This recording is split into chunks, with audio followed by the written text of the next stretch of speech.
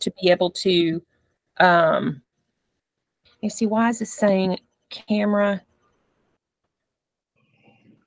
Okay don't worry. Um, i'm just going to put my picture back up and we're going to get started. Okay. let's see this video is paused due to problems with your network. Geez, what is going on?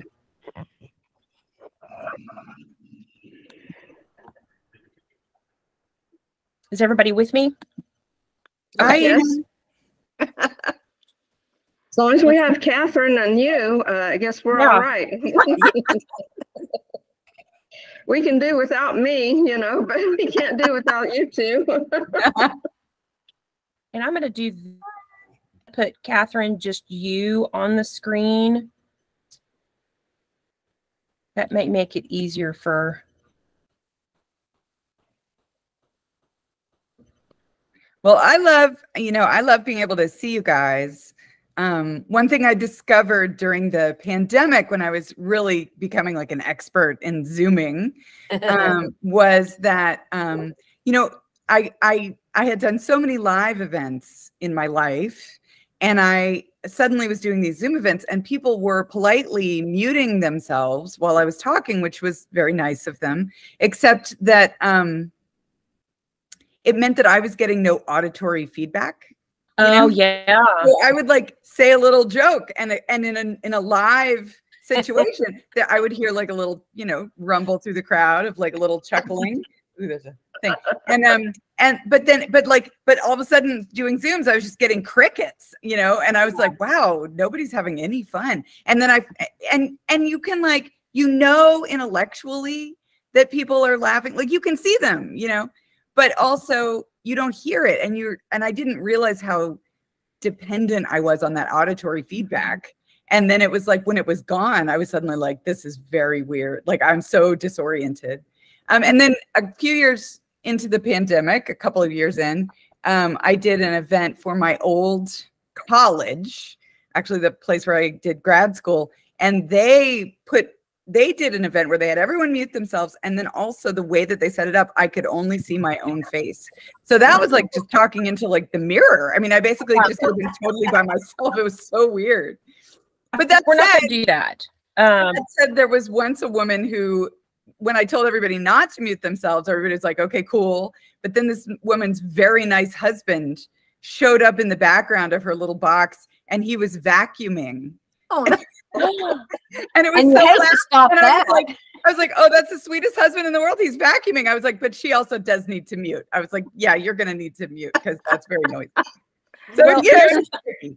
Here's a funny story about the things you would see in the background. For those of you who just joined, I'm so sorry, but for whatever reason, my camera is not cooperating. So you're just going to have to hear my voice. But when I, Katherine, before I took this job as an innkeeper, I was an event producer. And we were able to very easily pivot to uh, Zoom to do events.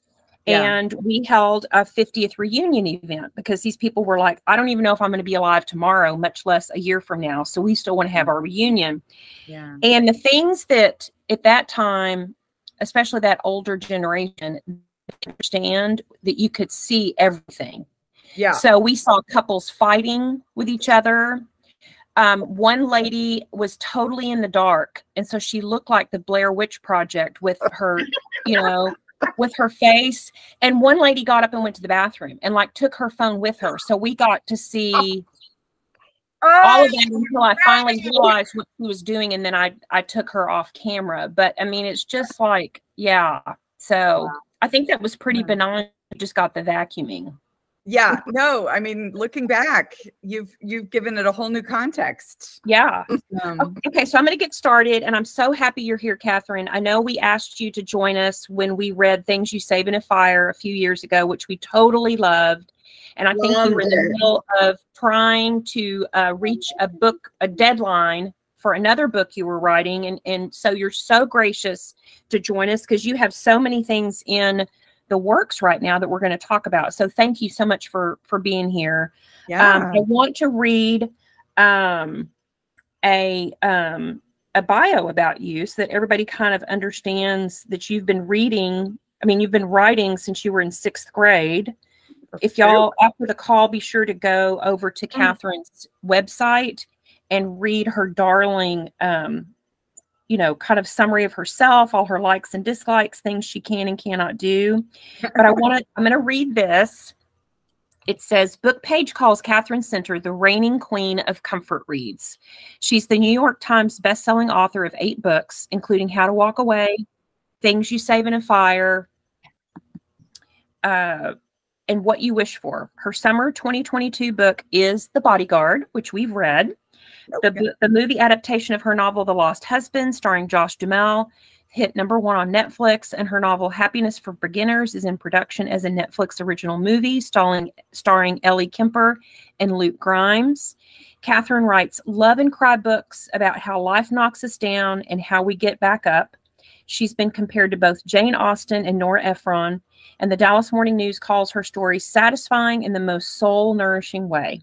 Her books have made countless best of lists, including Real Simple's Best Books of 2020, Amazon's Top 100 Books of 2019, Goodreads Best Books of the Year, the Indie Next Read, Great Reads List, and many more. Katherine lives in her hometown of Houston with her husband, two kids, and their fluffy but fierce dog. So we're so happy to have you here.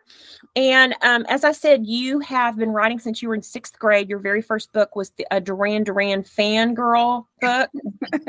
okay, so any Duran Duran fans out there, she could probably hook you up with knowing everything you need to know.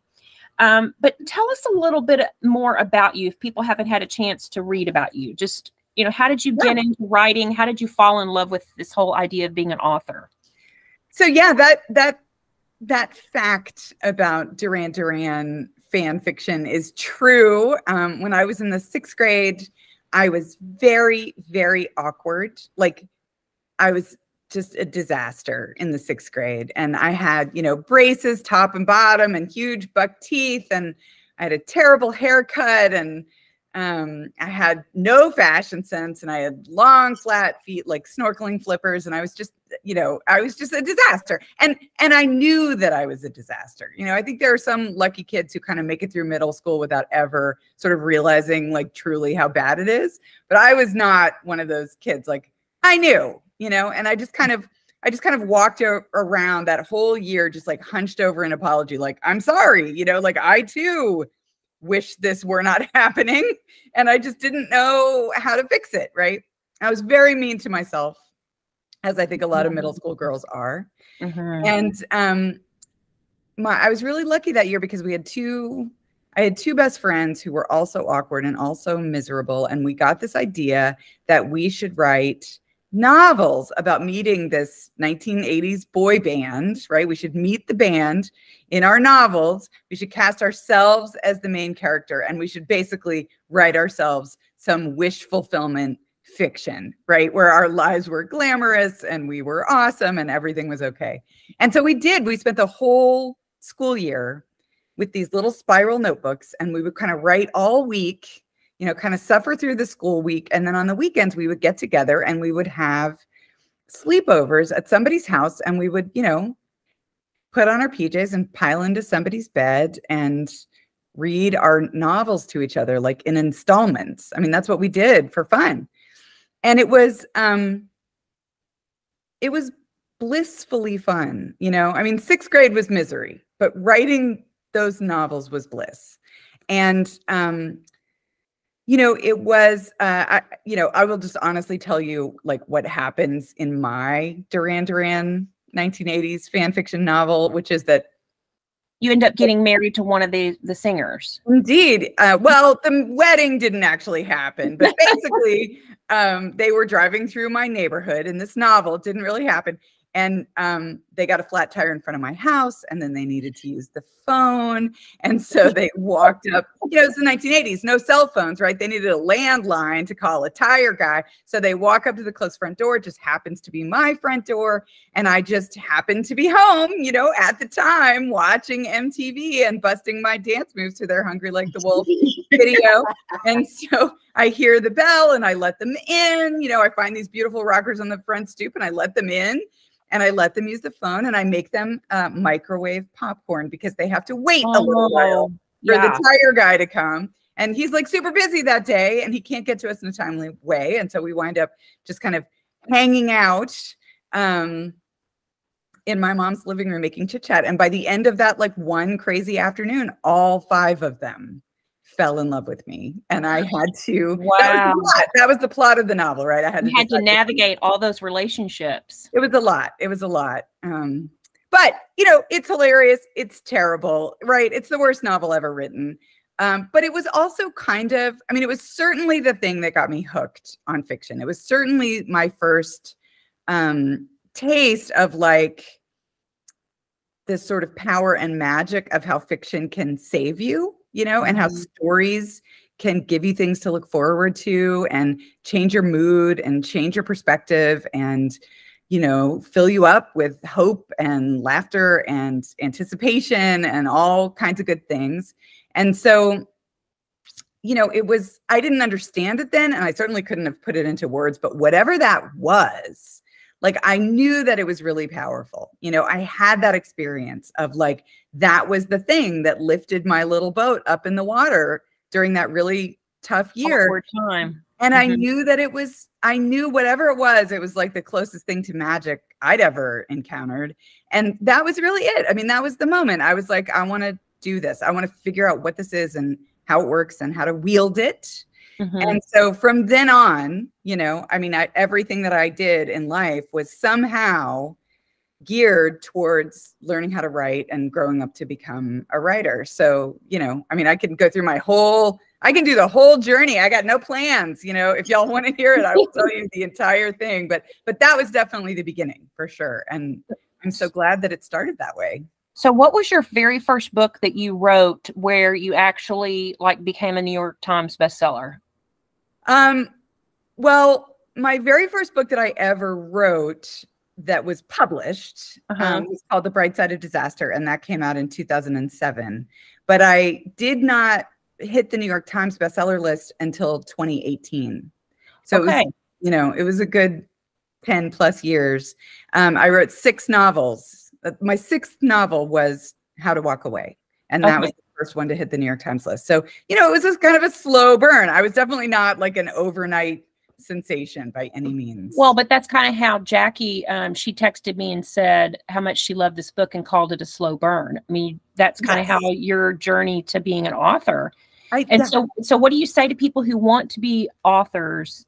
Because it seems like that every single author we've had on here has written one book, and all of a sudden, it's they're like, I have no idea why everybody loved this book.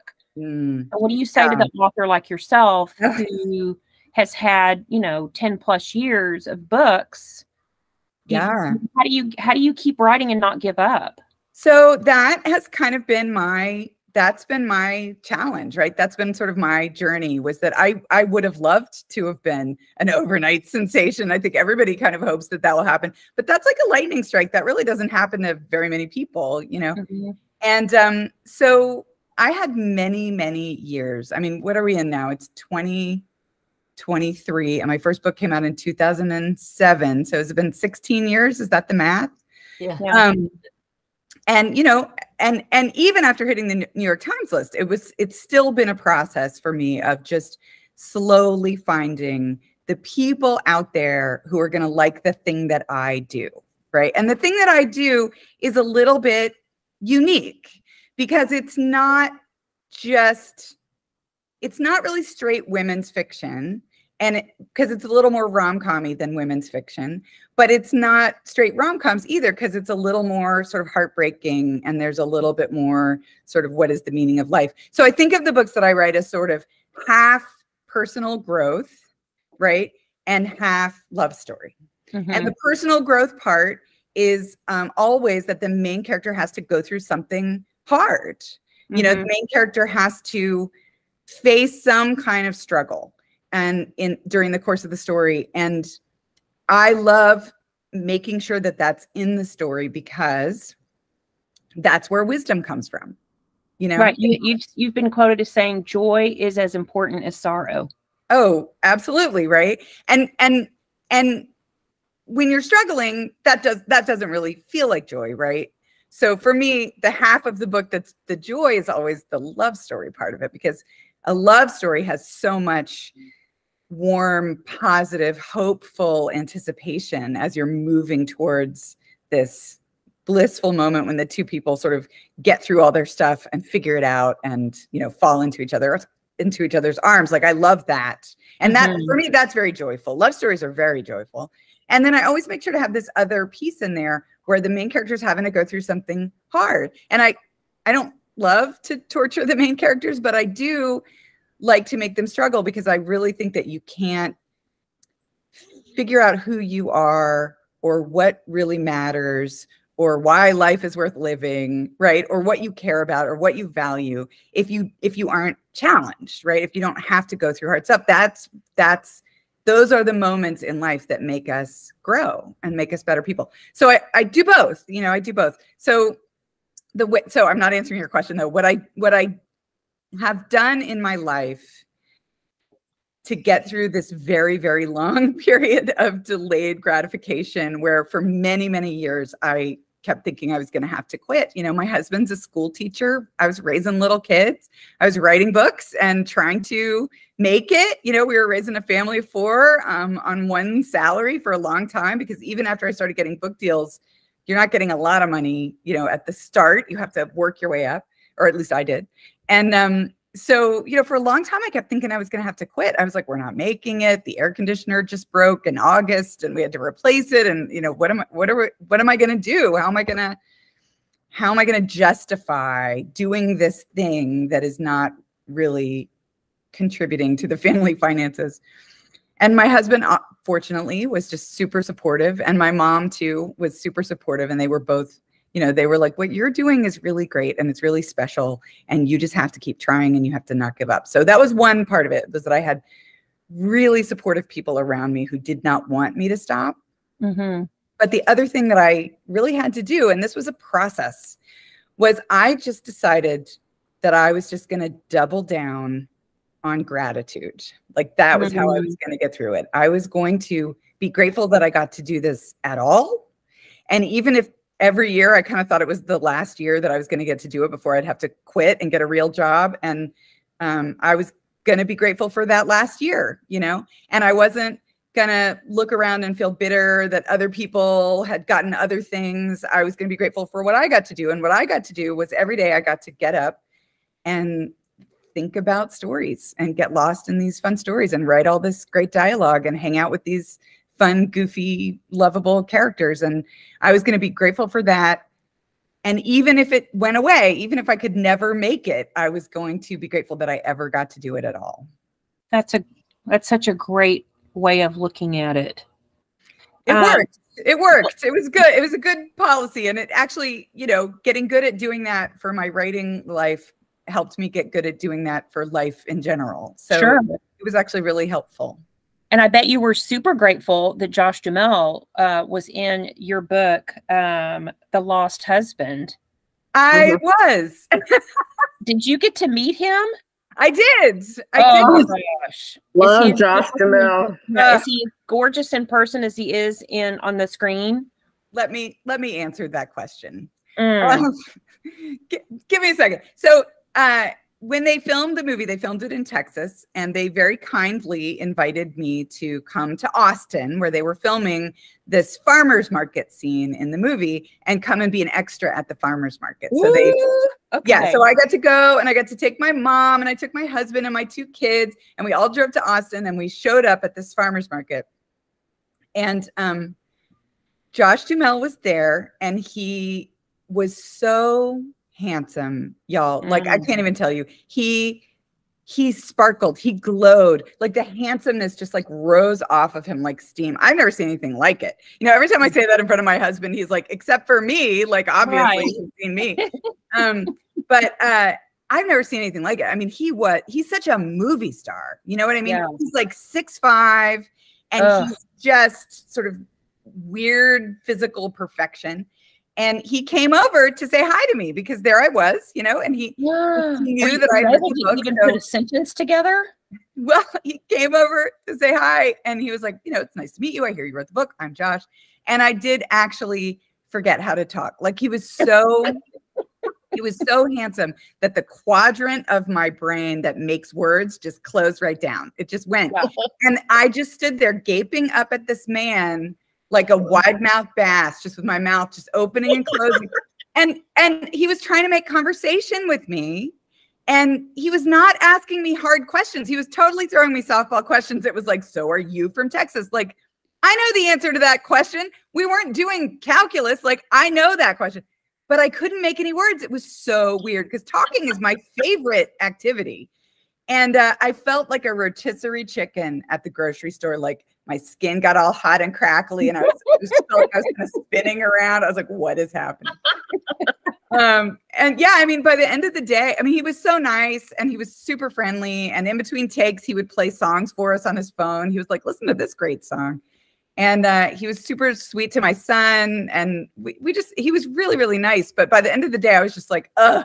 This is so exhausting. Could we just get some normal men in here, please? Really? A So dor- can we get some dorky guys? Yeah, just a regular man is fine. Did he smell good? I did not get a chance to sniff him. Okay. Uh, but you know, the visuals were really enough. I'd say that I'm was sure it was smelled very awesome. creepy. Yeah. See, felt- that's who I saw as the. This is always a question we ask: Who would play Jack and Hannah? Yeah. Yeah.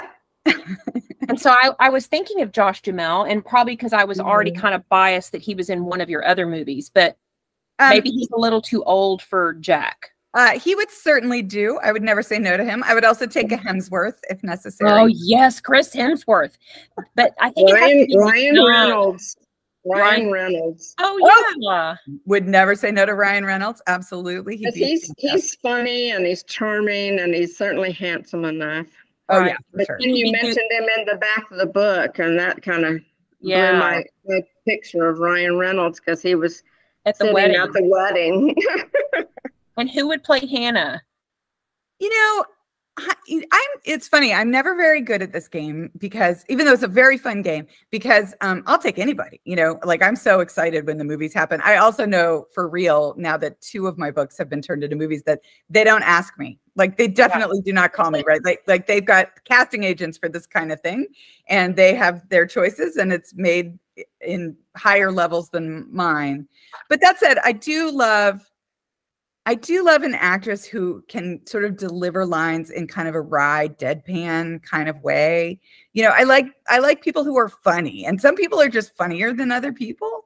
Um, so you know, I'm, but I'm not I'm not picky at all. Like I'll just take anybody who um, comes along who can who can do the role. yeah, I'm not as I'm not into I'm not as into the younger actors lately. I mean, I don't know a lot of them. So um okay, so moving on. Um, let's talk about the book. Which Yeah. was, you know, it's it's a book that you can't wait to get your pajamas on and get into bed and read and just get lost. So I think definitely the queen of comfort reads. Mm, thank you. When was the and I want y'all to to jump in with questions too. Sure. When was the moment for Jack and Hannah that you feel like they fell in love? I think we saw it sooner. In my opinion, we saw it sooner with Hannah because she was the narrator. hmm But what's your take on that? What's my take on it, or is this Yeah. a group for a question for the group? Um, you know, again, I think it was pretty pretty slow. You know, um, and uh, I think that's a really good question. I'm not sure if there was a moment. I think that they just liked each other from the start. I mean, I think Jack admired her and thought she was awesome from the minute she flipped him. Yes. yeah. You know, like, Yeah. that was the moment when she That was like foreplay for them. yeah, that was yeah. Yeah. Well, that was the moment when he suddenly realized that she was there was a lot more to her than met the eye, you Yeah. know. Um, and so I think he loved that idea. He loved how competent she was, and he loved um how like she just knew what she was doing. She was just she was like a tough guy, and he really liked that about her. And that is, of course, the thing she likes best about herself. So they kind of found this sort of common ground. Mhm. And of course, Jack Stapleton, she thought he was cute even before she met him, right? Like Right. she'd seen him in movies. And Oh, um, yeah. so she came in with this weird sort of front loaded set of memories of him that were not reciprocated because she had seen them all, you know, in movies and TV. So that was a little odd. And so for her, it was this process of getting to know the real guy rather than the the Character. characters that she'd seen exactly. And you know, for me, like, I mean, I could go back through it and really think about it, but what pops to mind when you say that question for me with Hannah is when she almost when she falls into the river and he pulls her out and yells at her. Yeah. And then um, that whole moment there where he's so worried and angry and there's so much intensity, it just kind of takes things up to an- another level. But then when it all sort of wraps up with him, you know, putting his jacket on her and then putting her on his back and carrying her back all Yeah. the to the ranch. I see that moment very vividly because because because um the ranch and the bodyguard is a real place. Yeah. It's your family's ranch, right? It's my family's real ranch. And so, um, you know, I have spent my entire life going down there. When I was little, it was my grandparents' place, and then they both passed away. And my mom now runs it. Um, and uh, we still go down there every Thanksgiving. You know, it's a working cattle ranch. And so, you know, my whole childhood, I went down to the Brazos River and I, you know, walked that very lane and I can see it in my mind, you know. And so for me, you know, I was writing this book during the pandemic. Okay. It was my it was my pandemic book. I was writing this book during the weirdest, scariest, Mhm. you know, most unsettling parts of the pandemic, kind of right near the beginning and then onward. And you know, I don't know how y'all were doing during the pandemic, but I was not feeling super optimistic for humanity. I was like, we're definitely all gonna die. Like this is like there's no way this is gonna end well, right? I felt very discouraged from the outset. I was like, this is not gonna be good. And you know, every night at I would like be like pulling back the covers, you know, across from my husband, we'd be pulling back the covers for bed. And I would just look at him and I'd be like, I want you to know that I have really enjoyed being married to you. You know, I'd be like, I really, you know, it's been the great honor and privilege of my life to be married to you. And I, you know, uh, we're definitely going to be dead tomorrow. So um, Right. thank you for your been nice knowing you. Yeah. Yeah. I was so I was not feeling optimistic. And then yet, right, yet faced with all of this pessimism and this creepiness and all the weird stuff that was going on, then I also still had a book to write. And so I had to sort of ask myself this question of like, okay, it's the end of civilization, right? What book am I going to write in the face of that? Right. And I decided that I would write the sweetest, swooniest, most sunshiny, most hilarious, most warm hearted romantic comedy that I could possibly write. And so, in fact, of you know, I was talking earlier about how like I tend to create my books in this sort of balance between like struggle and hardship for the main character and and like a swoony love story and try to have both. I really minimized struggle and hardship in the bodyguard because I just kind of felt like, aren't we all struggling enough? Like, aren't we all going through enough? Like, I just decided, you know what? Do I have to torture the main character? Like, we're good on the personal growth right now. And I just decided to write something fun and and light. It was really how I made my own sunshine during the pandemic. Well, what I liked about Hannah is that a lot of times when writers, um, when authors will create a character, they are so antagonistic that you're just, you know, you're like, God, what is wrong with you, girl? Like, you know, get over yourself or stop doing that or why do you keep doing that?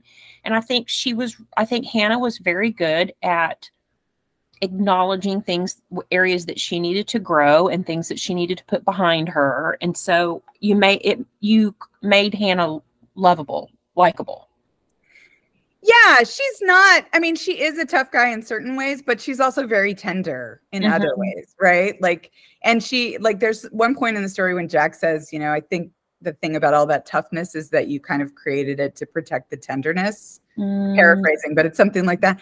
But, you know, I I love that about her too, right? She's she's tried to she you know she faced a lot of hard stuff growing up a lot of scary stuff and this was kind of her way of trying to grow up to be a strong person and i felt like what hannah really really needed was like a safe a safe place in her life where, or safe people right where she could sort of relax for like the first time ever and so you know i love to have a character who thinks they need a thing and then take that thing away from the character and not let them Mhm. have it, right? And so for her, her thing was her career, right? She was very, very good at her job. And she loved that her career let her travel all over the world and she didn't have to stay home. She could escape. You know, she could always be on the move, always seeing new things, new places, new people, right? Never kind of stagnating or having to sit around and like look at her life. She could always be on to the next thing, on to the next thing. And then, you know, what happens at the start of this book is that her her mom dies and she gets grounded, right? Because her boss Glenn decides that she needs to grieve.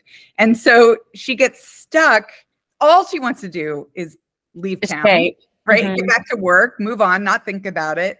But instead, she gets kind of grounded. She has to go to this ranch and she gets stuck with these people where she can't even do her job properly because she's stuck in this funny sort of fake dating situation where she has to seem not like a bodyguard, but like um, like a girlfriend. And so instead of doing all her normal coping mechanisms, she, they're all sort of stripped away from her, and all she can do is like hang out with uh, Connie, right? And like and like cook dinner and like walk around, like jog around on the ranch, and it, it she just doesn't have any of her normal things. And when that happens, it kind of cracks her open a little bit, and this this fun, sweet, complicated family is able to kind of get at her in a way that her clients never ordinarily would. Yeah, I loved her. I loved um uh Jack's parents. They Yeah. were, I do too. were your parents a lot like your parents? Were his were his parents I mean, is any of this and this is another question when you were writing this, do we do we pull back the curtain on a little bit of your life? I know that the ranch is in, is real. You talked about how writing for you as a young woman kind of helped you cope with your awkwardness. So what else is in there that is Katherine? The comedy, the Mhm. banter, um, that's all me. I mean, you know, my husband is the funniest person I've ever met. And we, you know, the Venn diagram of things that he is interested in in the world and the things that I am interested in the world is like two separate circles. Like there's no overlap at all between what he's interested in and what I am, except for joking around. Like he is very funny and I'm funny. And our favorite thing to do is to sit around and joke around and crack each other up. Like that's that's what we do. And we do it all day long. We do it all the time. And so um, I have also two very funny kids. I mean, our dog is probably even funny if she could talk. I mean, everybody's funny in our family. So we do a lot of comedy. We use comedy as coping mechanisms for all kinds of like stresses and life, you know, worries.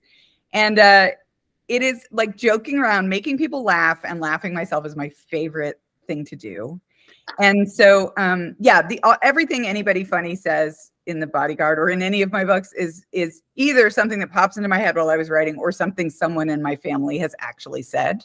Yeah. Mm. So that so that's very much me. And I would say that with all the characters, they're a, they're partly me, right? Because the t- I'm not a tough guy at all. I'm like the tenderest. I'm like the most tender-hearted person you've ever met. Like if you just give me a dirty look in the grocery store, I will like burst into tears and go home and like curl up on the couch under a fuzzy blanket. Like I am not tough at all.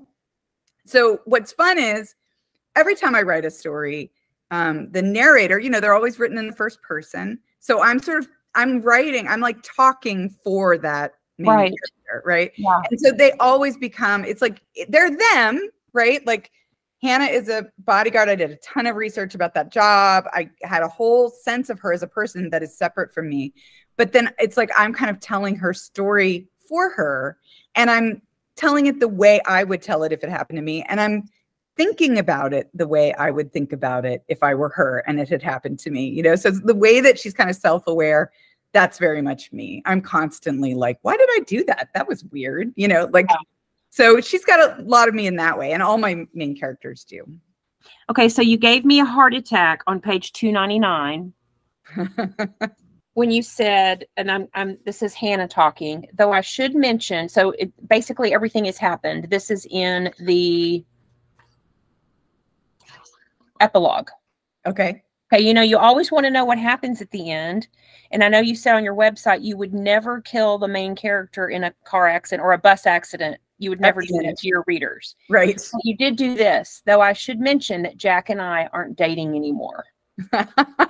And I thought, oh, I can't date a guy like that, like Jack forever. And I thought, oh my gosh, they split up. And then I kept reading and you got them married, which was just wonderful. Yeah, that's like a little that's like a little mini twist. right? Yes. Mhm. I loved it. I loved it. Do you have a do you have a copy of your book around? I wanted you to read something. Yeah, hang on one second. Don't y'all love her wallpaper? Yes. Oh, so pretty. It's beautiful. I painted that. So you you did? Mhm, Oh. Yeah. That was um when we were right when the pandemic happened. I had a book tour that got canceled and I knew I was going to be doing a lot of zooming. So um I made it. It's you know those little trifold boards that little kids use Yes. um to make science experiments, you Yes. know? Mhm. Um that's what the, it's two of them sort of on top of each other so it makes a little tall background and um I just laid it out on the dining table and painted some flowers. I just wanted it to feel festive. You know, because I was not feeling festive. So I thought, No. And it reminds me a lot of the cover art on your book. Do you have any say in that? Um, yes, yes and no. I mean, there's a there's a designer at Macmillan named Olga Grlic who does all the covers for me. Um, and it's really her concept and her stuff, but she's very lovely and thoughtful about, you know, letting me jump in and have opinions. And I love and the flowers were actually my idea because um in How to Walk Away, the main character has gotten um, third degree burns on her shoulder and her neck. And at the end of the story, she's had these skin grafts. And at the end of the story, she gets them tattooed with flowers. Oh. And it's this, it's this tiny little part of the epilogue, actually. It's just this tiny little m- mention. Yeah. But um, but it stuck in my head. And when we were sort of brainstorming ideas for what the um, cover might be, I was like, well, maybe it's maybe it's an airplane. You know, the airplane is sort of how the story starts. If you read the story, she's in a plane crash at the very beginning. Um, and then the flowers are kind of how the story ends, right? Her life is kind of graced with flowers in all kinds of ways. And so I thought, well, maybe it's something with a plane and flowers. And then um, Olga came up with this gorgeous cover, this red cover with this airplane and these flowers all over it. And ever since then, we've run with the flower idea. Like we just beautiful. everything now. And I love it. I love it. I love And it. her name is Olga Kravich. Uh, Grlic, G R. G R L I C. I At any point, did she make you do jumping jacks, or because she sounds like a German, um, one of those German exercise enthusiasts that you would see on old videos? No, she's nothing like that. She's she's, she's lovely and she's beautiful. She's gorgeous. I met her at um at the office one day and I just hugged her and I wouldn't let go because I was so grateful Mm. for all the beautiful covers she's made for me. She's absolutely adorable. That's wonderful. Okay, so on page 259, if you could start with um, I was fine. It's kind of maybe a third of the way down. I'm gonna switch to stronger glasses. I'm at this phase of my life now. 259. Okay. I was fine with Yeah. And how long do you want me to go for? um till the bottom. Okay. Well, until until you get to your that quote that's so powerful, which I think you know what it is. A choice to decide who you are. Okay. Okay. Um I was fine with caring as long as it was mutual, but was it? It had seemed more than mutual yesterday when he was pressing me up against the wall in his parents' hallway. Which was a super hot scene, by the way. Well, I'll say. Gosh. Uh, but yesterday was a million years ago. I wondered if the triple punch of it all, losing my mom, then losing Robbie, then losing Taylor, had left a bigger scar than I'd realized. Was I lovable? I mean, are any of us really lovable if you overthink it? It was tempting to chicken out.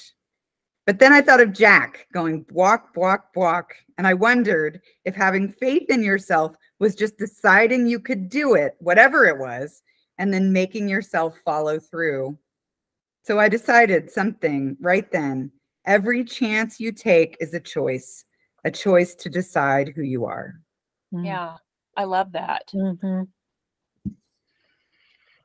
Is there Yeah, in fact, at one point I thought this book might be called Every Chance You Take. Oh, okay. um, but it did not wind up with that title. And so um, that's a good question. Do you start, do you have a title in mind before you start writing the book or you have a concept and then the title comes after that? Um, it varies quite a bit depending on the book. Um, sometimes I have no idea, and even up until the very last minute, my editor and I are emailing titles to each other in the middle of the night. Like, what about this? Um, I, you know, there have been books where I've come up with brainstormed a hundred titles. You know, just this could work, this could work, this could work. Usually, when I'm writing, I don't know the title, and I have, um, I just keep a like a running list in one of the notebooks that I'm using um, like a, on a back page that I can find easily of like anything. And it, there's a certain point, honestly, when anything starts to sound like a book title too. It's like, let's go to the grocery store, and you're like, that could be the title. Wait, no. Yeah. And uh, but but um, with some of them, like things you save in a fire was a very last minute title. I mean, we were Oh. brainstorming all kinds of fire related sayings and ideas and it was really really hard to find the right thing. And then the minute that we landed on things you save in a fire we were like that's it. That's the one. Yeah. um uh the bodyguard had a different working title and it's funny because i can't remember what it is right now. Um but i sent it in with a different title and um they my editor loved the book but she wrote me back and she was like what do you think about this idea what do you think of the bodyguard and i immediately wrote back and was like i love it you know i was like making dinner i was like stirring spaghetti on the stove and this email came in and i wrote back and was like i love it and then after i sent the email i stopped and i was like wait wasn't that a movie in the 90s Right. Yeah. I was going to ask you, how did you get around, how did you get around that? Well, you can't copyright a title. So there's no, you know, so you can do any title you ever want to. Um, but uh, I worried that it would just be confusing for people. And it has been a little bit. I mean, there's certainly been a lot of discussion. There it's been funny to see the reviews that pop up and say, you know, this isn't your mama's bodyguard, or like uh, people saying, you know, Katherine Center has updated the 1990s classic. I'm like, oh no, no, no. I was not even thinking about the 1990s Mm-mm. classic when I was writing the book. But um, but I love the title. I mean, it's really simple, right? It kind of gets right to the heart of it. And I think people do um it is kind of a fun surprise because I think most people seem to assume that he's going to be the bodyguard. Right. And then they jump in and find out that it's her. And that is a kind of twist on things. I don't, you don't have a lot of women bodyguard books out there. So that was just a fun little Yeah. That's a great one. different. thing. Okay, so I know um, our time is getting toward the end. I wanted you to talk about a couple of other projects. You've got Hello Stranger. You're going to be launching your book tour for that. Yeah. And then Happiness for Beginners is going to be, as we said, it's going to be a Netflix. So tell us a little bit about Hello Stranger. What's that about? So Hello Stranger is adorable. Um, and it's a story about a woman who is a portrait artist. That's her job. And she's like a failed portrait artist. Like she's not making any money. She's not at all thriving. You know, she's broke. She's living in a sort of hovel um, on a rooftop that really should be like a storage area. It's not even like a real apartment and um, she's she's been trying and trying and trying to um, make it and she hasn't gotten anywhere. This may sound familiar to you guys um, because i also tried and tried and tried for many years to make it and did not Right. get anywhere. So i really love i really love stories about downtrodden struggling struggling and not getting anywhere. And um, as the story starts she gets her big break which is that she places in a portrait competition um, that is really prestigious and really hard to place in. And so, uh, um, you know, I'm looking at this screen. It looks like everybody froze. Are you guys all still there? Oh, yeah, we can totally Yeah. still hear you. Yeah. Okay, I can't see. Everybody's frozen. All the pictures are frozen, but that's okay as long as you can hear me. Yeah. Um, so she uh, she she places in this portrait competition, and then right as that happens, she has a kind of a weird medical situation that winds up causing her to get a very rare but real real life condition called face blindness. Uh huh. And face blindness is a real thing in the world. And I've heard of um, that. yeah, it's where you can see, you can see everything, you can see just fine, but the one thing that you your brain cannot make sense of or process is human faces. And that's Mm. and that's real because there is a little tiny sort of pea-sized area in your brain kind of behind your ear that processes faces and it's very specialized. And if it gets damaged or has a problem, then you can't see faces right. And basically what and it, there are two different kinds of face blindness. I could go all night. It's super fascinating. But the kind that she has is like she can see the faces, but it's like they're puzzle pieces that won't connect. She Mm. can't she can see that there are eyes. She can see there's a nose. She can see there's a mouth, but they don't snap together into what she recognizes as a face. And um, actually, if you're ever bored, you can go on my website because one of the ways that they test your facial recognition abilities in sort of clinical settings is they they take pictures of famous faces and they take the hair off, like they crop it very tightly in an oval, and um, and they see if you can recognize people without their hair. And another thing they'll do to give you a sense of what it's like to not be able to make sense of a face is turn the pictures upside down. Mm. And so I have a little graphic on my website where it's all these famous people who you would totally recognize if they had their hair and were right side up, but they're upside down. And it, even I, and I made the graphic, even I will look at the pictures and be like, wait, who is that again? Like you can't, there's not that like snap of recognition. So, you know, when I was talking about in my stories, um, characters have to struggle with something. This is the thing that she is struggling with in the story. She's trying to figure out, like, she's just gotten her big break and all of a sudden she cannot rely on all of her normal ways of doing things and she has to kind of rethink her life rethink how we see people you know rethink what it even means to see somebody right and try and solve this problem in a different way so that's kind of the challenge of the story and how can she paint a portrait for this competition when she can't see faces and then the other, the other half of it that's really super fun is that um, there's a little love triangle. She she actually in this moment of crisis in her life, she falls in love with two different guys at the same time. And she's fully aware that it's probably just her creating drama for herself because life is so weird right now and she just needs something fun to look forward to. But she's got a very cute veterinarian who saves the life of her dog. Um, Mm. and then she's got this neighbor in her building who keeps helping her out in these crazy moments when she least expects it. And um, so I've never really written a love triangle before, and this one was really, really fun to do. And I think it's very swoony. Um, and that's the story. I think it's I think it's a great love story, and I think that the medical component of it is really, really fascinating. And I did a ton, a ton, a ton of research um, to learn as much about it all as I possibly could before writing this story. And I just everything about it is fascinating to me. And so, one last question. Since you you seem to be very swoony over this book, books are like children, I would guess. What's been your favorite book you've ever written, besides the Oh. Duran Duran book? Um, well, that's so hard. I, I mean, I love them all in in different ways. I will say, just to be honest, I think I am getting better as I go along. And um, by better, I mean when I started out, I didn't really know what I was doing. You know, I I wanted to write good stories, but I I didn't really know what good even meant, and I was kind of using like my writing teachers compass for what that meant when I was younger. It was kind of I was kind of using like an external metric to kind of define that. And I Mhm. think the reason that I've gotten better over all these years as I've gotten older and wiser is that um I've moved from trying to imagine what somebody else would think was good into my own internal compass, you know, where like you if you're a writer, I think the only book you can really write is the book that you yourself would want to read. If you had like a free Saturday and a fuzzy blanket and a hot cup of tea, what would you want to read? And Right. this, these are the books. The books I'm writing now are exactly the books I want to read. I want to laugh. I want to cry a little bit, you know. I want my heart a little bit broken.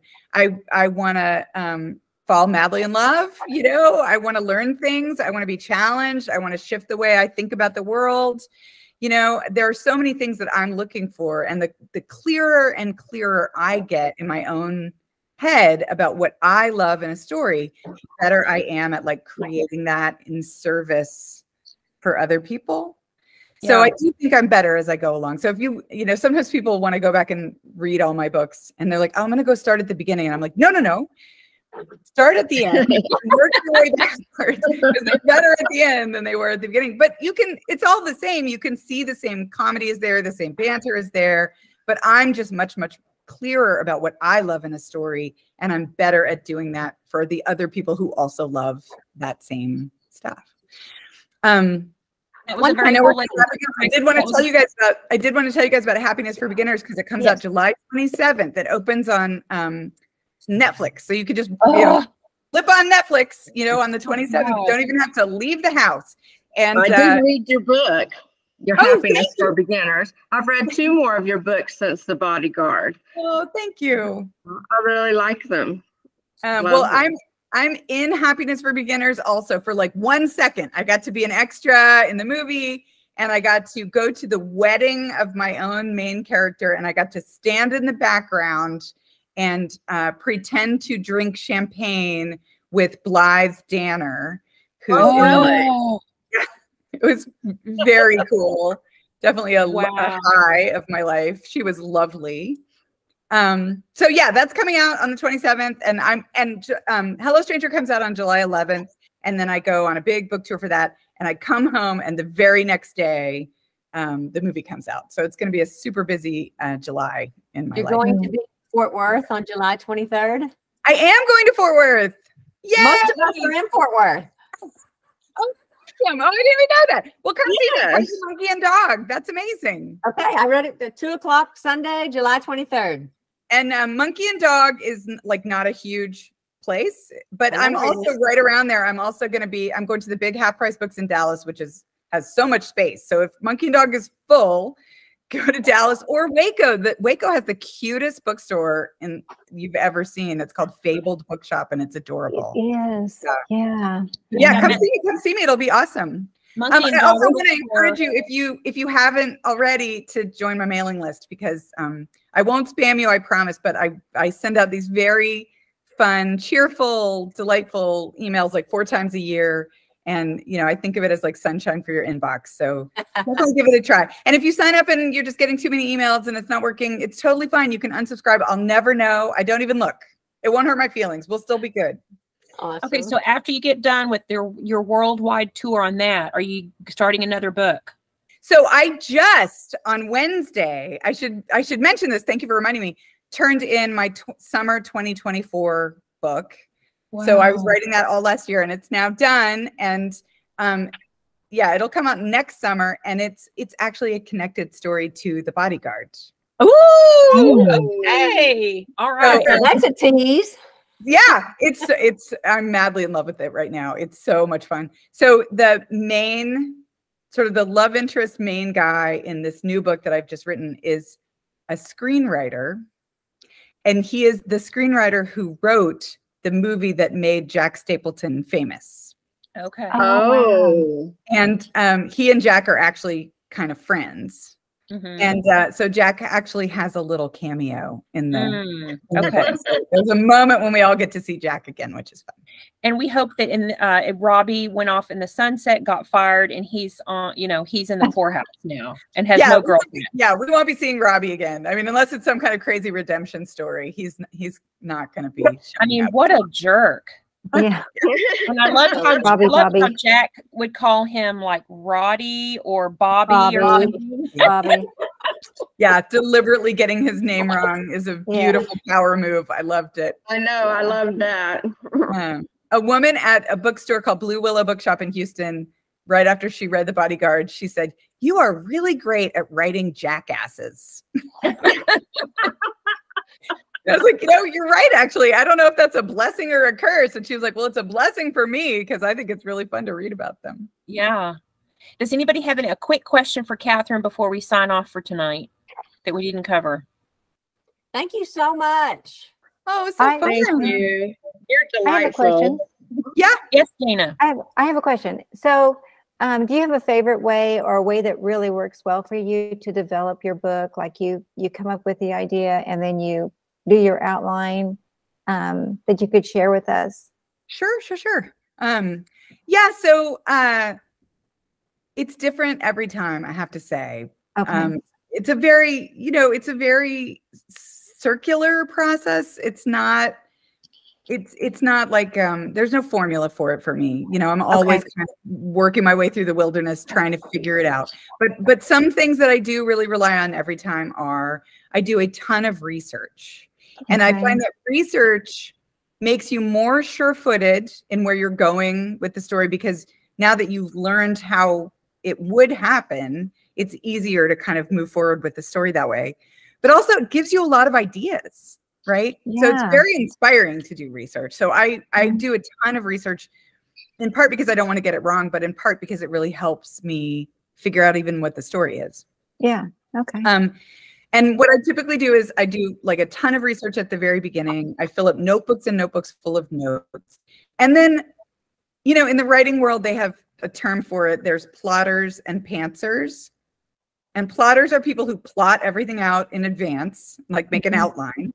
And then pantsers are people who write by the seat of their pants, right? Yeah. And so they just kind of get in there and figure it out as they go. And I'm a hybrid between those things because I always do want to try and have a sense of where I'm going because I never ever want to go off on a tangent that's not useful, you know, and that can happen. Mm-hmm. If you don't know where you're going, then you don't know what needs to be there. You don't know what the journey is. yeah. But I also find that as I'm writing, the scene that just happened tells me a lot about the scene that's going to happen next. So I kind of always have an idea about what I want to do, but then I also really try to respect the story kind of guiding me if we go in a different direction or we need to do something else. okay. So I yeah, so I, those are things. The other thing that I will really say, and this is always my biggest advice to people who are writing, um, is you have to learn to practice the art of self encouragement. Meaning, I think all of us who want to write are very good at tearing ourselves down, right? Mhm. and like saying, "Oh, that's not working," or "Oh, that's so boring," or "Oh, another cliche I've got to rip out." But, you know, we can all see what we're doing wrong, and that's that's fine. That's a that's a skill you have to have too. But I would encourage you to try and balance that as much as you can with noticing what you're doing right. Okay. Right? When you write something good, enjoy it. Be proud of it. Like focus on it. Say to yourself, "Oh, that's good. That's working." Like read it to somebody. Go read it to a friend and say, "I just wrote this amazing beautiful line or this funny little piece of dialogue." And um like savor it, you know, when it's working. Because what I really really believe and and and let me back up.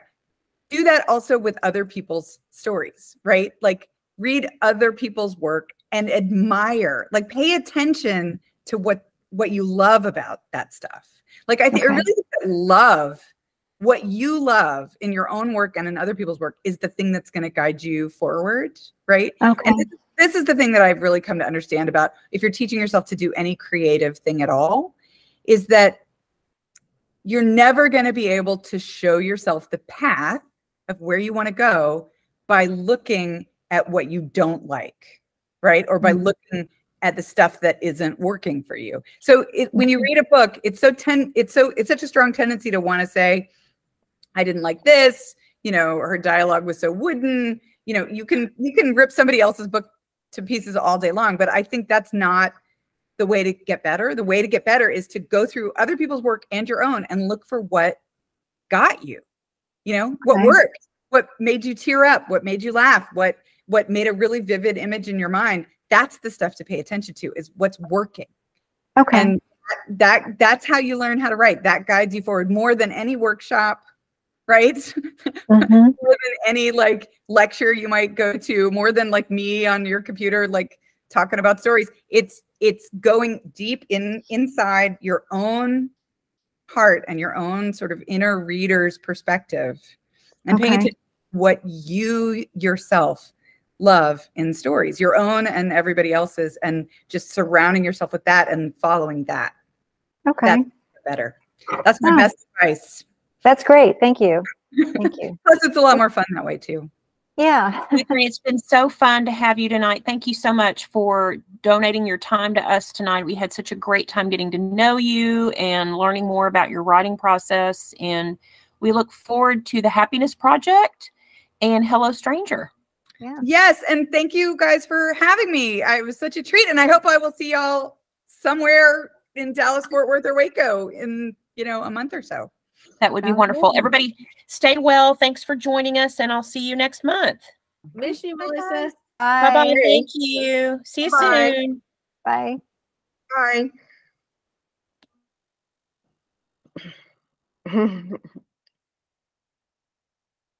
I don't know what that does. Oh, how did it hang up?